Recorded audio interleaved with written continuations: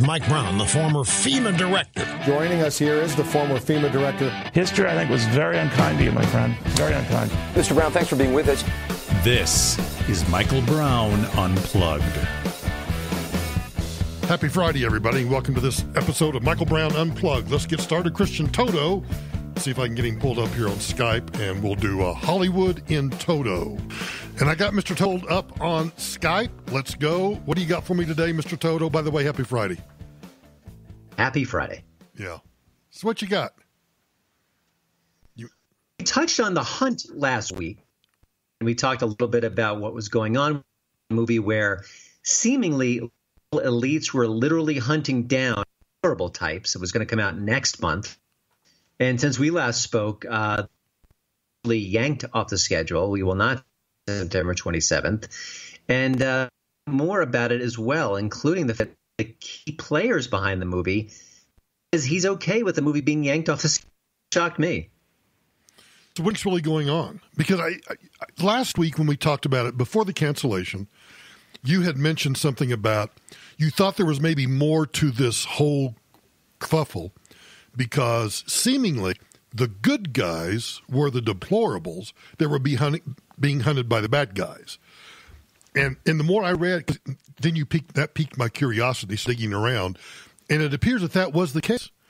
The deplorables were depicted as the good guys, and the bad guys were the ones on the other side that were hunting them down. Does that play into this at all? I don't know. And I also don't know if that's truly the complete story. It certainly is what it looks like on the surface. And even if you watch the trailer, the people who are being hunted are displayed as heroic and strong. So, you know, I, I think there's got to be a twist here, or maybe a third act little kind of uh, surprise that maybe shakes up what's going on. But again, not enough people have seen it. They only have maybe one or two test screenings, and no critics have really weighed in yet. And you haven't seen it. You didn't get a screener or anything. No, you know, for a wide release like this, I often don't. I'll get a um, an invite to the screening, but that often happens like a couple of weeks before the movie opens. So we didn't get close enough yet. So, what do you think's really going on here? Well, I mean, I think on, they're come on. What do, you, cowardly. what, do you, what, what do you really think? What do you think's going on? there's got to be a twist to the movie. It can't be as described because Hollywood is anti-Trump. This filmmaker, uh, Jason Blum, is anti-Trump. Uh, one of the actors, I, uh, Barinholtz, is extraordinarily anti-Trump. I don't think they would have all signed on if there wasn't something more than we're seeing. But I think just because the jittery nature of the times with those mass shootings and the fact that Trump was trying to connect it, even though they canceled it before Trump spoke out, I, I just think they all got got cold feet. Okay, so I want to back up. Let me. I want to pick your brain. I got to cross-examine here. You seem to think that there might be a twist in the plot that makes it worse than what it seems to be on the surface, and that might be part of the reason why they've backed off. No, I mean, I just think the movie itself, take away the controversy. Why would an industry that's anti Trump and a filmmaker who's anti Trump and actors who are anti Trump rally together to make a movie where the deplorables are the heroes? Again, that's what it looks like on the surface. So I, I just can't square that in my head that all these different people would come together to make a movie that had that message. And then you mentioned to me before we started that one of the actors, I, I forgive you, I think you just said it, that he said somewhere that he's actually okay with this thing being canceled? Well, the person I've been referring to is Jason Blum. He the director. He, he's actually a sure. He's behind a lot of very powerful Hollywood movies. He's very successful. He's very anti-Trump, and so this is partly his baby. It's Blumhouse Productions. So what shocked me was that he's reportedly, according to one press outlet report, was okay with them pulling it right now. I guess he agreed it wasn't the right time, but you know, why do it in the first place? Why the theme? Uh, didn't he realize that this was going to be a powder keg in our culture wars? So, do you think it's going to pop up, say, closer to the 2020 election? Gosh, I mean, if it's hot now, how could it be? It'd be even hotter then. I really don't know the movie's fate. Fate. I, I, there's talk it may be released internationally. Maybe they'll slip it onto a Netflix down the road. But for the next year plus, it's only going to get hotter. So if you're going to pull it now, what's the reason to putting it out any time after that? Unless there's something about the fact we're going on the basis that an assumption that the people being hunted, the deplorables, are depicted in a good way. Right. What if the people being hunted, the deplorables, are actually depicted in a really negative light? And so those on the other side who are doing hunting are actually going and killing people who are being depicted as Trump supporters, but as Trump supporters, they're racist, homophobes, xenophobes, whatever whatever the current adjective is. Yeah, I mean, very real possibilities, but I think the bottom line, the fight between the left and the right been, at least in my lifetime, this severe. People on each side are blaming the rhetoric and destructions and shootings. How do you put a subject matter like into theaters and say, "Have at it, folks"? That I mean, that's the part that I can't square with. No, I, I don't think they right, me... do what they want. They can say what they want, but also a bit of responsibility here. I mean, do you understand that that that could cause repercussions? I mean, I think the filmmakers should be aware of. All right, maybe I'm thinking it because I'm trying to. I don't know. Are, I haven't been to a movie in so long because, frankly, there hasn't been really anything to go watch, or that you've told me, "Hey, you must go see this." Are there any other movies out right now? Not necessarily where it's they're hunting down people, but where they're the the typical violent movies. You know, a Die Hard movie, or you know, we watched. Um, I believe we watched it, but on Netflix there was some Sean Penn movie that's three or four year, uh, The Gun or something. I think we watched. It was incredibly violent, with lots of automatic weapons, lot and assassination, all all sorts of things. If they're pulling this one forgetting about whether or not the deplorables are depicted as good or bad people. Are there any other movies right now that, in terms of just the violence and the use of firearms and guns and everything else, that are out right now that nobody's saying anything about? Yeah, there's a movie coming out very soon. Um, I think it's called Ready or Not, and I've seen the trailers. It comes out at the end of this month, and it's about a couple that gets married, but that the the groom's family has very nasty things in store for the bride or something akin to that. And the early reviews are out and it sounds extraordinarily violent, bloody, and there's a little bit of satire in there. It's sort of an attack on the rich. But I think that really falls into the camp you're discussing where, hey, uh, there's a lot of violence on the screen above and beyond this movie, The Hunt. And then next month, we're going to see the last Rambo film, literally called Last Rambo. And according to the trailer and according to the Rambo franchise, action, blood, violence, guns, mayhem. So I mean, Hollywood is addicted to this kind of storytelling. There's nothing nothing's going to change there. And you could certainly say it's hypocritical to sort of bemoan the violence in The Hunt and then celebrate the violence elsewhere. Okay, so I guess the bottom line is the hunt's the hunt's going away, but yet Hollywood's going to continue to produce violent, gun-riddled movies. So to your point, there's something odd about the pulling and cancellation of this movie, unless it's just yeah. the fact that they're killing innocent people or something. Yeah, I think there's more shoes to be dropped about this. I'm just I'm just so curious to see it for multiple reasons. But again, you know, I mentioned the responsibility factor, but I, I artists should I don't, I don't like art being pulled. I I, I agree. And you know, and also you know it is part of what we have in, in their country that we have the right to make what we want to make, to share what we want to share. And if it inspires something terrible, that is our culture. We can't really change that. I mean, you know, Taxi Driver was connected to Jodie Foster, was connected to John Hinckley. Uh, there have been comments about Oliver Stone films that maybe uh, some killers have, have used.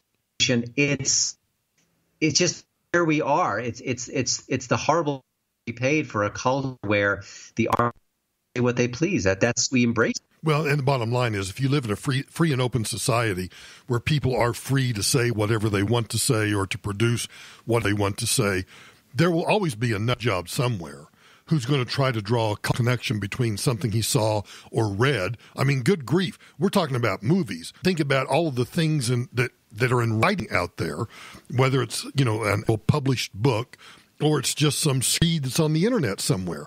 So when we're in an open society like this, for people to pull a movie because they're afraid there's causal link or it might inspire somebody to do or not do something.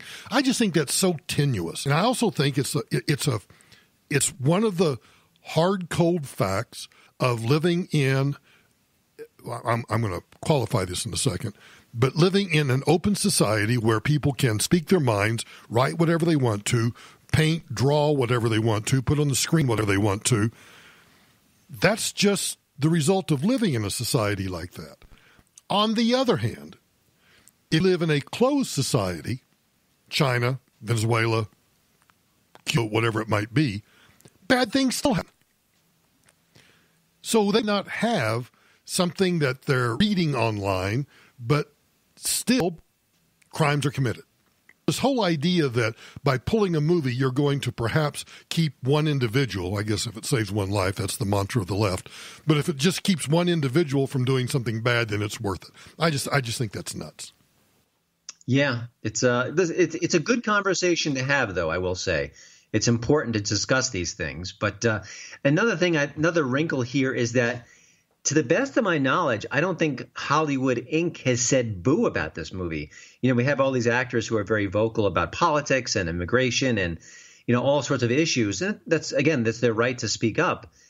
You would think if I'm an actor and I see an, uh, a film being pulled, I'd be kind of grumpy about it. That I'd be, hey, it's all about free expression, but they're running scared in Hollywood. I'm not seeing anyone talking about it. All right. Well, keep digging. I want to know the truth about what's really going on. Yeah. Okay, so over at your website, hollywoodintoto.com. By the way, I guess we should mention they should people should follow you on Twitter at Hollywood and they should also go to your website, hollywoodintoto.com.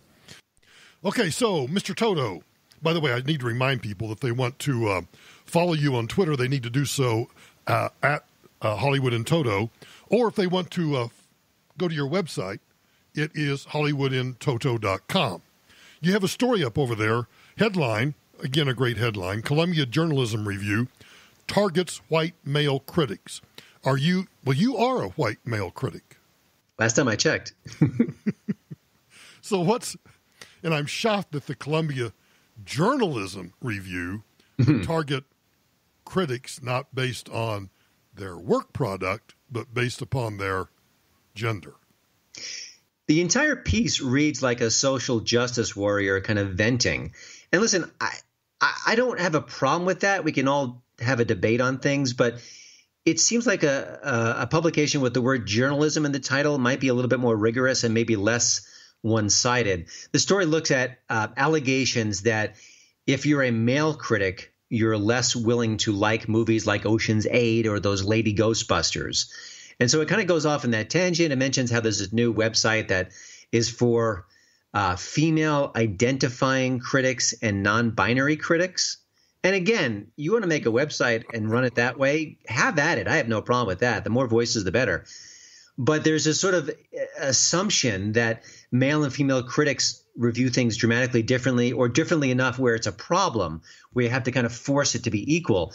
And that's what the, the story says. And also attacks Rotten Tomatoes because in their eyes, they don't have enough female critics. So it, again, it's a much more complicated issue. But the other beef I have with this particular story is that if you want to look at a a diversity issue that truly dramatically impacts a review, it's ideology. The vast majority of critics are left of center. Many are aggressively left of center, as we're seeing. And that impacts the kind of reviews they write. If it's a Christian movie, it's propaganda. If it's a Michael Moore movie, it's triumphant. I mean, if you want to investigate biases in journalism and I'm sorry, in movie criticism, that's where you start. And of course, the article doesn't even hint at that, let alone mention it. This is this is identity politics run amok. So you you have in the story you quote something. I assume this is from the from the story. Though Rotten Tomatoes is often thought of as neutral, its critics, like film critics at large, skew mostly white and male. Only 34% of all critics featured on Rotten Tomatoes are women, according to a recent study by Martha Lauzen, an executive director at the Center for the Study of Women in Television and Film at San Diego, San Diego State University. So, my question is maybe, and you may not, I, I hate to throw this at you, you may not know the answer to it, but if 34% of the critics featured on Rotten Tomatoes are women, among the pool of critics are 34% women and you know, 66% male? I mean, what, what, what is it?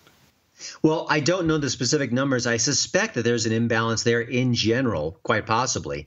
But also, you know, you need to get to a certain level of exposure to get access to Rotten Tomatoes. Now, I, I got that years ago. I was working at the Washington Times. And because I was a Times regular critic, I was able to access Rotten Tomatoes. And ever since then, gosh, about 15, 16 years now, my reviews are on the site. So if I review a new James Bond movie, I will link it to from Rotten Tomatoes to my website. So if you go to Rotten Tomatoes, you can find out what I have to say. So I would think that Rotten Tomatoes, unless they kind of game the system, can only link to as many people who have a large audience and who review movies. And you know, unless they go searching for female critics, for critics of color, they I don't think it's their fault. They, they're just kind of you know reaching out to the people who do the do the reviewing. Which is another reason why this whole concept of identity politics drives me nuts.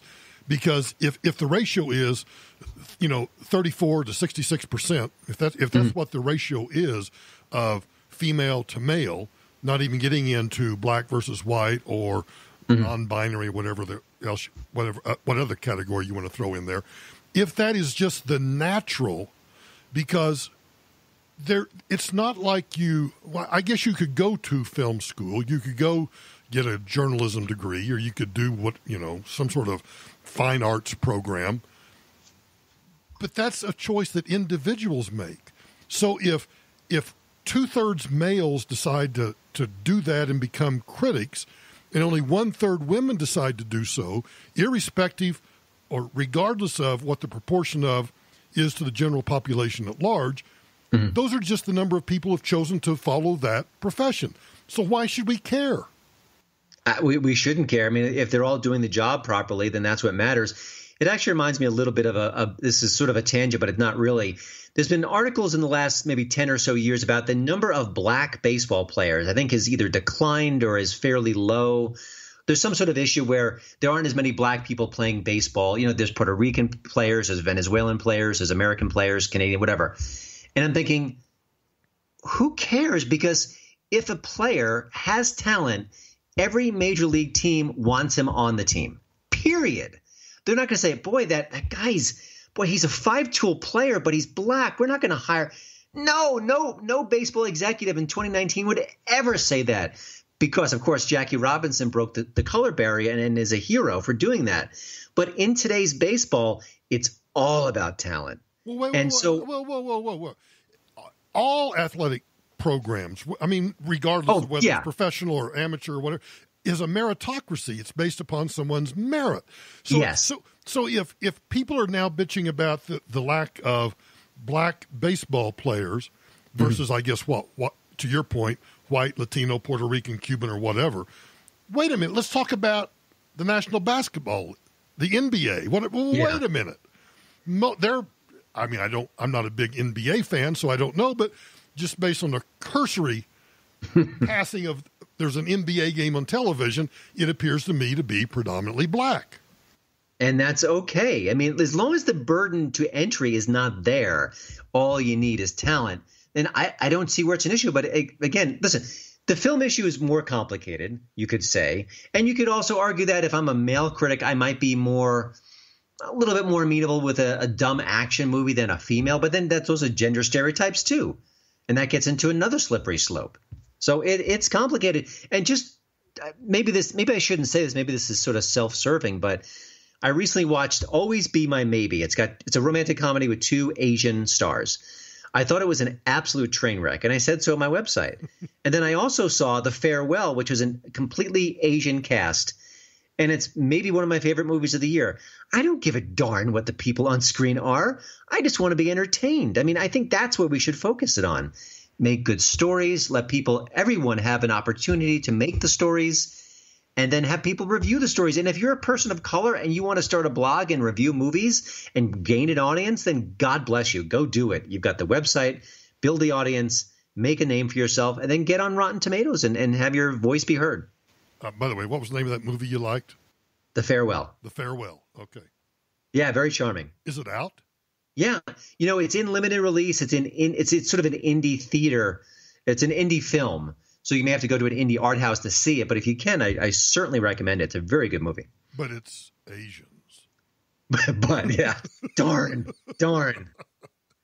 I regret having such a good time with Crazy Rich Asians. I should have, I shouldn't have smiled and enjoyed myself so much. I'll have to ask for a refund. There was not an appropriate mix of black, Hispanic, right. white, and, and, and Asians in the movie.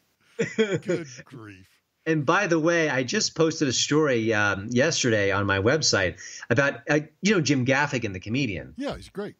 Well, he's also doing a ton of acting roles. He's really busy doing supporting players, uh, lead roles, and he talked about how his recent movie Being Frank was attacked by critics not because it wasn't funny or wasn't dramatic or that he was terrible in it, but the female characters in the movie didn't get enough screen time. And so they the critics dinged the movie based on that alone. And he's saying it's a story of a father and son I, how much more time can you give the female characters if the the thrust of the story is about these two male characters i mean he's he's a liberal guy and he's aghast at what's going on within the film criticism community good for him i'm glad to hear that there's at least one that's pointing out how I mean, that's just pure unadulterated dumbassery.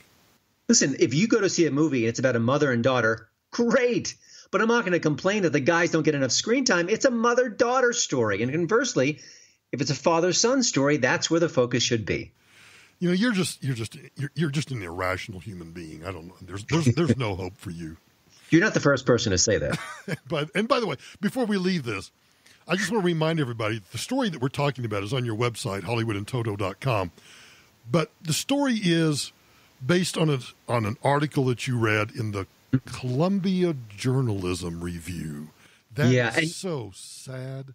It is. And by the way, I went and looked up the author on Twitter. I was kind of thinking, I bet he's a hardcore liberal. Sure enough, a whole bunch of liberal posts up there and a lot of pop culture stuff. And again, I don't care what he is. But when you write a story of that fashion and you lean it so hard to the left and you leave out the more significant story about how ideological bias infects reviews, I, I got to throw the flag down. All right, everybody go read it. Columbia Journalism Review targets white male critics. I, it's just a great example, again, of identity politics and how, and, and particularly, I love the story about Jim Gaffigan because that is that is another example of how this concept of identity politics is causing the left to just consume themselves. It's, yeah, it's well, absurd. I don't think we talked about this. We'll just, we'll just mention it really briefly. But Sarah Silverman said, and she's oh, a very liberal yes, yes, yes, yes, She lost a gig in a movie that she really wanted and seemed to seemed like it was in the bag because the people behind the movie found out that she dressed up in blackface. Might have been like 11, 12 years ago on her old TV show. Now, she has over the years apologized and apologized and apologized for doing that. But more importantly, it wasn't a racist act. It was she was having a discussion on the show about how the culture treats people who are Jewish and who are black. She was trying to point out that people don't always get treated the same way. She was trying to make a point about bias and bigotry. She wasn't just putting on blackface to be insulting. But none of that mattered. She got fired, and she's not happy about it. She's she's kind of blamed. She said this whole liberal culture of, of this cancel culture is a problem. Well, hello, you've been quiet for years, but when it bit you in the buttocks, all of a sudden you're complaining about it. Well, welcome to the party, Sarah. I I, I can't stand Sarah Silverman, but, but but at least good for her. I mean, I, I'm I'm sorry that she got fired and she lost the gig, but good for her for being pissed off about it. And to your point, it's this isn't something that she was hiding. It's not like I mean now obviously I didn't know about it, but it, obviously everybody that's involved in Hollywood, this isn't new news. They knew she had done this. Now, five years ago, I would have stuck up for her and I would have said this is wrong. Today, given the culture, and I think this is what many conservatives are doing, they're saying, you know what? This is how it has to happen in order to make progress. Enough liberals have to get caught up in the PC mob so they realize how dangerous this is and how unproductive it is and how unfair it is. And until enough liberals get bit, then we might actually see some real progress in the culture. But until then, if it's always conservatives getting thrown in the bus, nothing's going to change. So unfortunately, people like Sarah Silverman have to lose gigs to make other people aware of what the situation is. But to be clear, just make sure nobody misunderstands you. You are standing up for her complaining about it. Yeah. Oh, yeah. Absolutely. Yeah. And on paper, I get where she was mistreated. I'm not in favor of that, but I think it sounds cruel. I think that people have to get yes. get attacked in this fashion before we all realize we're all in this together. It's a problem. And I, uh, so. I, I, agree a thousand percent. And one last point on this issue. Um, I shall plug my, my, the latest podcast episode on the Hollywood in Toto podcast interviews a person who wrote a book called Campusland, and I highly recommend the book. It's a satire set on a college campus, and it's all about this aggressive identity politics culture. The book is excellent. The writer is really a smart fellow, Scott Johnston. It just came out this week, but so ignore my podcast. Go buy that book. I, I think people will really enjoy it. It's very well written. And it's the kind of book where you think, I know it's satire, but boy, it feels ripped from today's headlines. And the name of the book again? Campus Land. Campus Land. All right, we'll go find that. All right, good, good, good, good. All right. Um, from now on, f- for, for the remainder of this of this episode of Michael yep. Brown Unplugged, you shall refer to me as Fredo. I'd love to. I've been waiting all, all these years to call you Fredo. Fredo. but how can, I can't be Fredo because I'm actually the oldest brother. Oh, okay. So it doesn't the is it is it is it the second or third child, or is it just the dumb child? I think predominantly it's a dumb child. I'm trying to think what the birth order is on, on the Godfather, but he's he's not so smart. So uh, that's that's the real issue here. He's the dumb brother in the Godfather series. Period. so you, I talked about the. Actually, I was going to ignore this story the entire week because I just thought it was so absurd.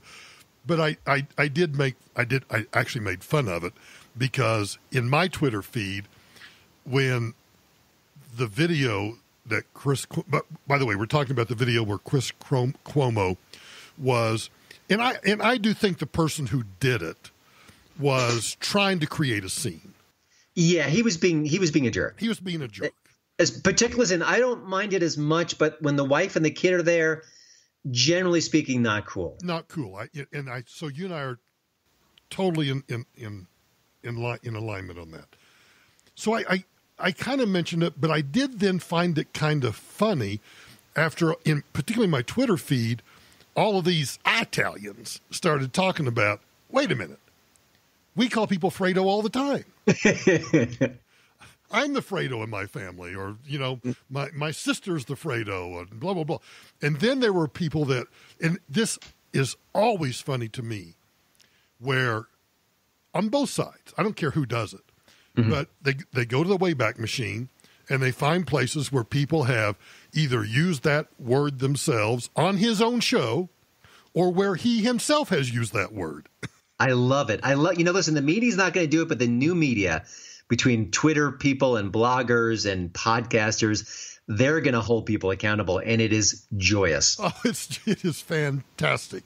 So you sent me a a, a tweet from Trevor Noah's The Daily Show. Yeah. What, what are we? What you you want me to just play it, or you want to set it up? Quick setup. So you and I, I think, have talked about this in the past. Bill Maher is religiously liberal, and of course, he's he's completely atheistic, if that's a word. Yeah. But he is probably the most likely to kind of call out his fellow liberals when they do things badly. But second, a distant second, is Trevor Noah, who occasionally will wander off the progressive plantation to say, hey, guys and gals, not cool. So he does that right here in this bit. Maybe not as hard as I'd like, but at least he kind of pokes a little fun at Cuomo for the whole situation. Okay, and I and I haven't listened to it, so to jump to kind of glom onto what you said, good for him because anytime Maybe he doesn't do it enough, but whenever he does it, he's reaching that audience that you and I will never reach yep. because they're just a different a different demographic, a different political persuasion, everything. So good for him for calling it out. So let's take a listen to what uh, uh, Trevor Noah has to say about uh, Fredo. Chris Cuomo. You might know him for always breaking the news, but if you talk trash to him in the streets, the only thing that might end up breaking is your face. CNN standing by host Chris Cuomo after a video went viral showing the anchor threatening a heckler. This video was taken during a heated exchange with an unidentified man who called Cuomo Fredo, which Cuomo insists is a racist slur toward Italians. Now, I, I want to pause it right there because the the news anchor says Cuomo did what he did because he insists that it's a racial slur. and then you and then you listen to all the times that he's used it or that other people have used it on his program. Now you understand that what he's doing, he's just trying to rationalize the I'm going to call it bad behavior. Yeah. But I also get that his wife and his daughter were there. So he's kind of trying to get this guy out of his face. I get that. And, and you know, in the past, if you compare anything to the N word, the full weight of the outrage mob comes on you. But because he is a dedicated liberal warrior, it's been mostly quiet. And I think it's also been mostly quiet in this case because I think they also recognize no, this is not the equivalent of the N word. It's not even apples and kumquats. It couldn't be any more different. Let's continue. An insult to your people. It's an insult to your people. It's like the N word for us. Is that, is that a cool thing? You're, you're going to have a problem. What? What are you going to do about it? I'll ruin your shit. Then. I'll throw you down these stairs like a punk. Please do. Why? So you, you can sue? You don't want so you to can sue? Well, why don't you do it? Go take a swing. Then. You want to call me Fredo? Take a swing. I'm not going to swing Take a swing. Watch your hands. I'm not going to Take a swing at swing. you. I'll wreck your shit. I'll wreck your shit. Yo, Chris Cuomo doesn't mess around. Now I see why CNN makes people fight in separate boxes. That's just workplace safety. Yeah. I love that. So that's why CNN makes people fight in separate boxes. It's workplace safety. I mean, That's that's, a good- that's clever. It's clever. Very clever. All right, here we go. Cuomo's like, if I wasn't in this box, I'd smash your face. And look, Cuomo was clearly pissed off because he feels like when this guy called him Fredo, it, it's a negative Italian stereotype. All right? Uh, what's funny to me, though, was that his reaction that he chose uh, also seemed like a negative Italian stereotype. that that's clever. So when when Trevor Noah says your reaction was also like an Italian stereotype, that- that's fantastic. It's funny stuff. Fantastic. You know, uh, like, listen, you when when the shit and left hits itself, it's never with the vigor, it's never with the bleeps, it's never with the full outrage that we get when it's Trump or Senator McConnell or something. But you got to take the scraps when they come, right? Oh, and, and this is a good scrap. This, Yeah. this is a good two minute and thirty seconds of scraps, and I'll I'll take it any day. Yeah. And why didn't Colbert do it? Why didn't Jimmy Kimmel do it? I mean, there's lots of fodder here. All right, let's go. On stairs, big man. You want to talk to me? You want to talk to me? I'll break you. And you know, I got to admit, for for a South African, that's a pretty darn good Italian accent he's got. You know, over the years, you know, when he was first installed in the Daily Show, everyone's like, "Oh, he's no, he's no Jon Stewart." I think he's become a better performer since then. So I, I think he's uh, gotten some chops, as like, dramatically speaking. You know, which you need for humor too. Yes. Well, he he pulled it off right there. All right, here we Yeah. go. Not on there. So, since this video went viral, there's a big conversation now over whether the word Fredo is a slur. Now, some are saying it's a reference to the dumb brother in The Godfather, okay? Uh, because, like, you know, Cuomo has his brother, and then he's like the dumber one who's in the news and in entertainment. But some are saying it's also an ethnic slur. In fact, Cuomo himself claimed it's like calling an Italian person the N word. Yeah. So, to find out if that's true, we're joined by Roy Wood Jr., everybody. So, Oh, this is good. I didn't realize this was coming. he brings on a black man. Yeah, That's good. Roy, is is calling an Italian Fredo the same as calling a black person the N word?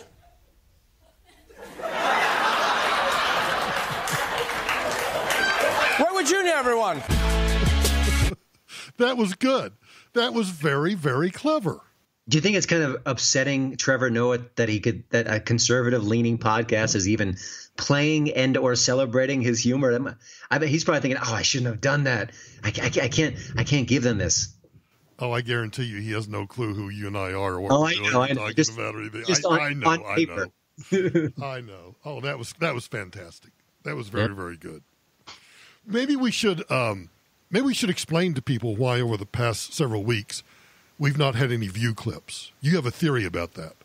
I think that they take a brief vacation toward the end of the summer because I'm not seeing any newsbusters items or anything. And so I usually I kind of in my research and sort of circling the web, I find stuff. You can't help but find stuff when it comes to the view. But I just haven't seen anything lately. But I, I, I think if last year's memory serves me, I think they take a brief time out and then they kind of start their new season, as it were. And hopefully Meghan McCain will be part of it. Well, let's just. Um, I know I'm having a little bit of withdrawals, but knowing that they will be coming back, I'll, Uh-huh. I'll I'll try to survive until after Labor Day or whenever it is. It's a reason to keep going. It is a re- it's a re- it's, a reason to keep to to stay alive. That's right. Knowing the view will come back. Hey, thanks for coming on today. Good to see you. My pleasure. All right, I'll talk to you later. And because it's Friday, the National Post, which is a newspaper in Canada, says that a Canadian aircraft controller in Nova Scotia who was caught loudly masturbating by coworkers on multiple occasions and who was eventually fired for his work through a totally understandable Hail Mary, trying to keep his job and at least a little bit of his dignity. But ultimately, the courts were like, you know, no, no, no you're just uh, weird and, and you got to go. Back in 2016, in a in the man in question, whose name was not given, who do you really want to know his name? I don't. I don't know.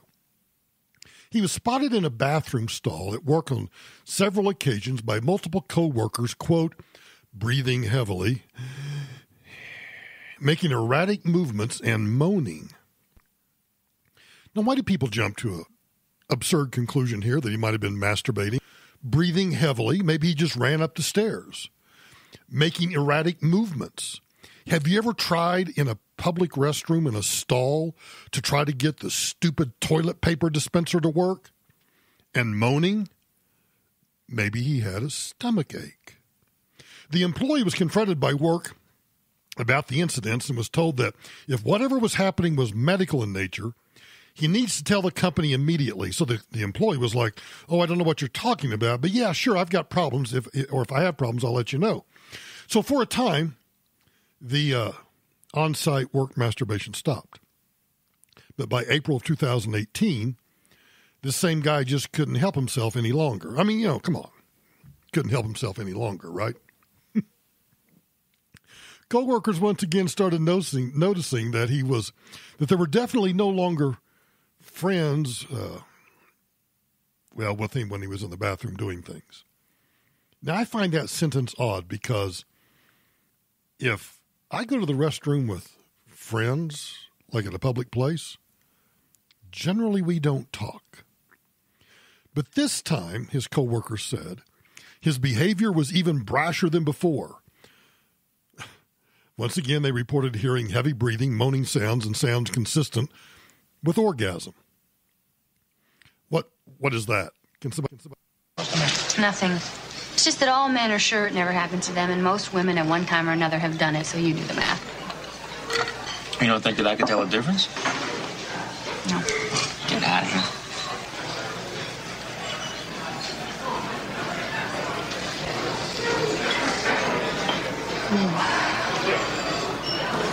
Oh. Ooh. Are you okay? Oh. Oh, God. Ooh. Oh, God. Oh. Oh. Oh. Oh, God. Oh, yeah, right there. Oh. Oh. Oh. Oh. Oh, God. Oh. Yes. Yes. Yes. Yes. Yes. Yes. Ah. Oh. Oh, yes. Yes. Yes. Oh. Yes. Yes. Yes. Yes. Yes. Yes. Oh. Oh. God. Oh.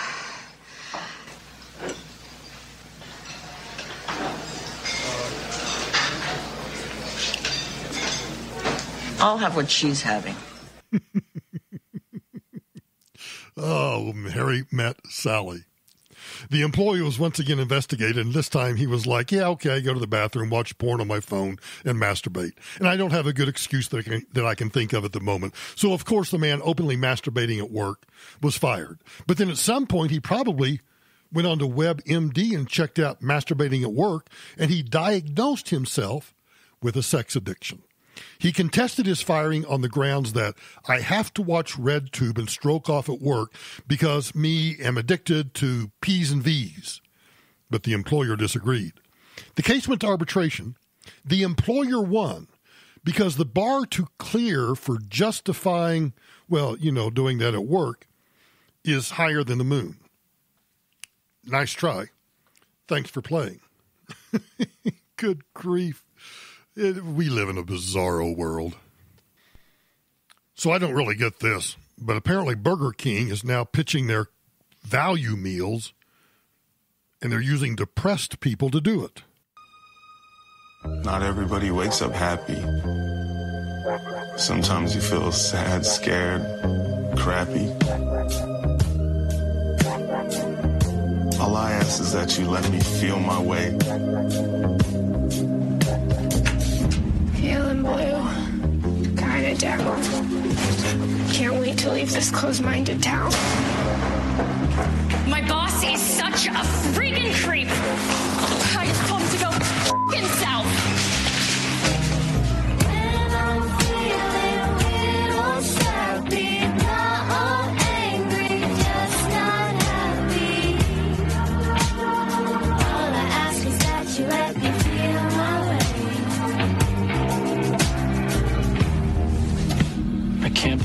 Student loan. I'm never moving out of my parents' home. Just got ghosted. Should have known. Pretty sure I'll end up alone. They say I'm too young to raise my baby girl. Take your opinions and suck it, world.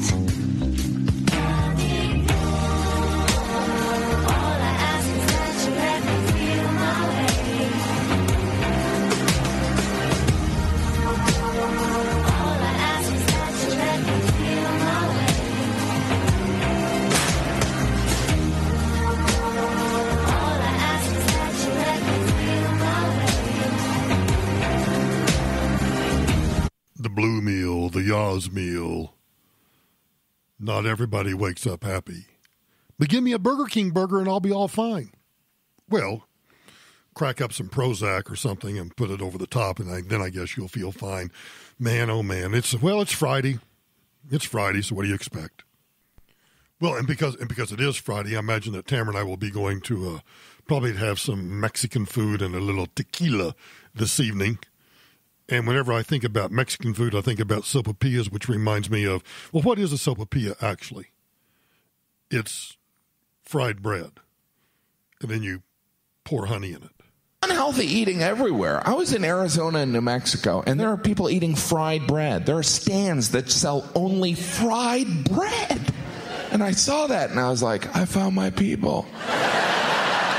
fried bread. I eat unhealthy, but come on.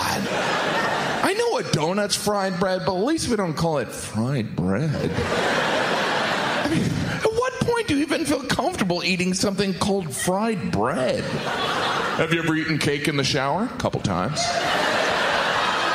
You're ready for fried bread. Ever eaten in your car so you don't have to share with your children every day? You're ready for fried bread. And, I, and I'm ready for some fried bread too. I'll just call this sopapilla. Hey, everybody, thanks for listening to this week's episodes of Michael Brown Unplugged. I really appreciate you doing it. Everybody have a great weekend, and I'll talk to you again Monday.